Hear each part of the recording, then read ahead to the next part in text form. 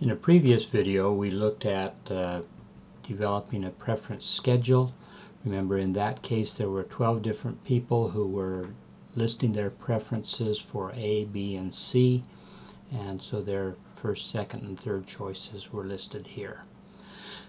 We built a, a preference schedule and would like to just talk briefly about how we knew there were really six different preferences and how this table should be constructed. In a preference ballot, the, uh, the various choices that someone can choose from are going to be listed in some order, probably alphabetically, as they are in this case. So in this case, there are only three different choices, so let's examine those for a minute. Notice that a person could, in their first choice, either choose A, or they could choose B, or they could choose C. So we're going to represent this with the tree diagram. And regardless of how many choices there are, this first branch of the tree could list them in the order that they're listed on the uh, uh, preference ballot. Usually that will be in alphabetical order. If a person chooses A as their first choice, now they only have two choices for their second uh, choice out of the three. So they could either choose B or C as their second choice. Similarly, if they chose B as their first choice, now they only have two choices, and those choices are going to be either A or C. In each case, we're going to list these in the order that uh, that they're listed on the on the ballot. Finally, if they chose C as their first choice, then they could either choose A or B as their second choice. Once those choices are made, look, you can follow down any one of these branches.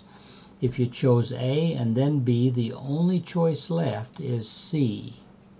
If you chose A and then C, the only choice left is B.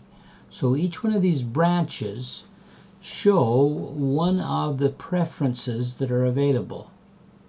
A first, B second, C third. A first, C second, B third. In this case, the only choice left is a C. In this case, the only choice left is an A. In this case, the only choice left is a B. And in this case, the only choice left is a C. Now notice we can 1, 2, 3, 4, 5, 6 corresponding to the six different choices that are here and notice that they end up being listed essentially in alphabetical order. That's called lexicographical ordering. We can count how many there are here because in the first choice you have as suppose that there were five uh, choices for that first choice. Well, let's just look at this case. In this case, there were three choices for the that we could make for our first choice. Once that was made, there were only two choices left for the second choice, and finally there's only one choice left for the third choice. This kind of arithmetic is called a factorial, and the shorthand notation for that is 3 with an exclamation point. That's called 3 factorial.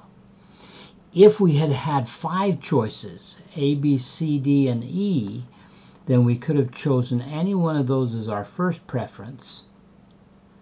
Once that was chosen, there would only be four choices for the second preference, then three choices for the third preference, two choices for the next preference, and one choice for the final preference.